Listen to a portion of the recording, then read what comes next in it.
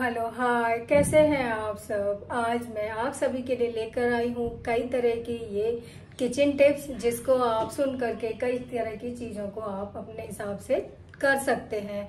तो आप इस किचन टिप सुनने के लिए लास्ट तक वीडियो में बने रहें, जिससे कि आपको भी ये जानकारी मिलेगी। तो चलिए शुरू करते हैं। सबसे पहले आप क्या करिए, शक्कर का जो डब्बा होता है, उसमें आप दो लौंग रख दीजिए। उसमें आप, फिर उसके बाद उसमें चींटियाँ नहीं लगेंगी। जो आप नींबू लाकर खरीद कर घर पर लाते हैं, वो जल्दी खराब हो जाते हैं। तो आपको क्या करना है कि कोई भी तेल जो आप घर पर यूज़ करते हैं, बस उसमें आप लपेट दीजिए और प्लास्टिक के डब्बे में उसे बंद करके रखिए। वो एक महीने तक कभी खराब नहीं होगा। आपका जो आटा गुथा हुआ होता है, आप उसे जब रखते हैं लोहे के टिफ़िन में, आप बिल्कुल भी ना रखें। अगर आप लोहे के टिफ़िन में रखेंगे तो वो काला पड़ जाएगा। इसलिए आप क्या करिए कि यहाँ पर आप प्लास्टिक का डब्बा यूज़ कर सकते हैं।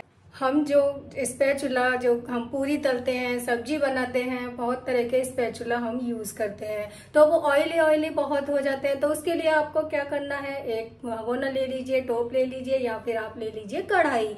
आप उसमें गर्म पानी होने रख दीजिए और जो डिश वॉश आप यूज़ करते हैं, जैसे बिम बार है, बस वही आप उसमें एक बार डाल दीजिए थोड़ा सा नमक डालकर आप उसे उबाल दीजिए। उन सभी को उबाल कर मिनट आपको अच्छे पानी से धो देना है। आप देखेंगे कि आपके सारे सारे स्पैचुला साफ़ हो चुके हैं। तो अभी बारिश का सीज़न चल रहा है तो सूखी जो मिर्चियाँ आप लाते हैं, वो पीसने में काफ़ी दिक्कत करती हैं। ऐसे तो बाज़ार में भी चिली फ्लेक्स मिलती है, मिर्ची का पाउडर भी मिलता है, पर कई कई बार हम घर पर भी बना लेते हैं चिली फ्लेक्स और ये मिर्ची का पाउडर तो आपको क्या करना है, एक कढ़ाई लेनी है, आपको नॉन स्टिक कढ़ाई लेनी है, और उसे पाँच मिनट इस तरह से मिर्ची को गर्म कर देना है। इससे क्या होगा, वो पीसने में आसान हो जाएगा। और दूध में जब हमको मोटी मलाई चाहिए तो आपको क्या करना है, जब आप फ्रिज में दूध रख रहे हैं, जैसे आप दूध को उबालेंगे, फिर आप ठंडा करके फ्रिज में रखते हैं। तो आप क्या करेंगे, जब फ्रिज में आप रख रहे हैं तो आप उसको ढकिएगा नहीं। बिना ढक करके आप दूध रखेंगे फ्रिज में तो आप देखेंगे कि हमारे दूध में बहुत मोटी मलाई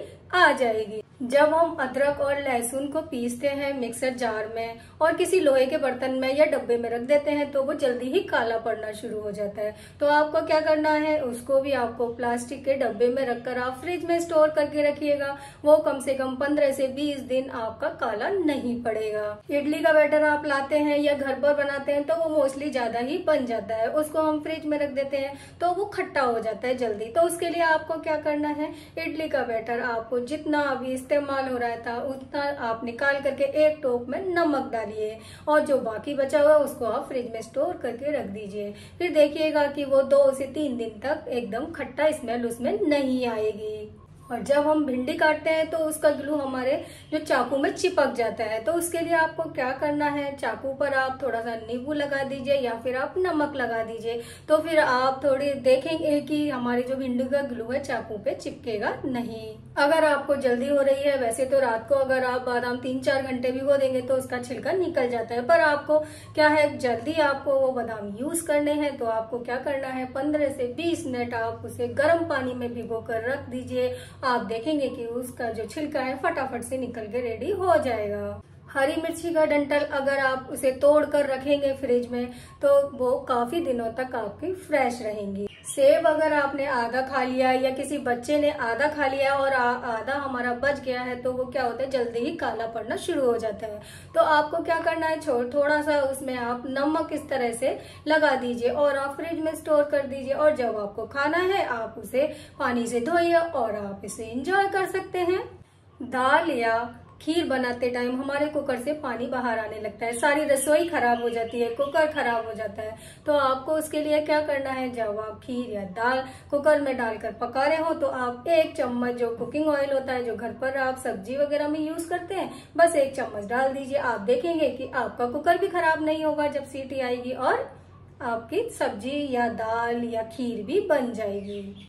जब हम औरतें घर पर काम करती हैं, रसोई में काम करती हैं तो कई बार क्या होता है कि जो हम इसमें रसोई में खाना बनाते हैं तो कभी कभी हमारी स्किन भी जल जाती है, कभी जीरा चिटक जाता है, कभी ऑयल हमारे ऊपर चिटक जाता है तो आपको वहाँ पर क्या करना है पैनिक नहीं करना है। आपके पास आलू घर में हमेशा ही रहते हैं, या फिर आपके पास बनाना है, यानी केला है तो आप उसे पीस करके बना, बनाना को आप मैश करके ले सकते हैं और जो आलू है उसे छील कर आप पीस करके लगा सकते हैं। आपके स्किन पर आप देखेंगे कि जलन भी नहीं होगी और जो फफोले आते हैं वो भी नहीं आएँगे। अब हमारी आती है लास्ट स्टेप आप क्या जब हम मिक्सर जार चलाते हैं तो उसके जो कांटे हैं, वो बहुत ही या ब्लेड है, वो बहुत मोटे हो जाते हैं, यानी वो पीसते ही नहीं है। तो आपको क्या करना है? मिक्सर जार लेना है। उसमें आप दो से तीन चम्मच नमक की डाल दीजिए और उसे चला दीजिए। उसके बाद आप देखेंगे कि आपके जो मिक्सर के ब्लेड हैं, वो अच्छे से शार्प हो गए हैं। तो आपको ये मेरे टिप्स कैसे लगे, आप मुझे कमेंट्स में ज़रूर बताइए। आप इतने सारे मैंने आपको टिप्स दिए हैं। इसमें से सबसे ज़्यादा कौन सा टिप्स आपको बहुत अच्छा लगा है? और आप जो ये जो वीडियो देख रहे हैं, कौन सी सिटी से देख रहे हैं, ये मुझे बताना ना भूलें। और अब आप मुझे ऐसी ही नई नई वीडियो के लिए रेसिपी के लिए मुझे मेरे इंस्टाग्राम पर भी फॉलो कर सकते हैं। उसकी आईडी मैं नीचे डिस्क्रिप्शन बॉक्स में मेंशन कर दूँगी। तो आप बताइए मुझे ज़रूर कमेंट्स में कि आपको मेरी ये टिप्स कैसी लगी। अगर आप मेरे चैनल पर नए हैं तो आप रुक करके आप सब्सक्राइब मेरे चैनल को करते जाइए। ये बिल्कुल फ्री है और नीचे बेल आइकन का बटन दबा हुआ है। आप उसे दबा दीजिए। जब भी मैं वीडियो डालूँगी, उसका आपको नोटिफिकेशन लग जाएगा, जिससे कि आप सबसे पहले मेरी वीडियो देख सकते हैं। तो फिर चलते हैं ऐसी ही नई वीडियो के लिए। फिर मैं आपके सामने हाजिर होंगी कुकिंग विद हिमा वीडियो देखने के लिए। Thank you.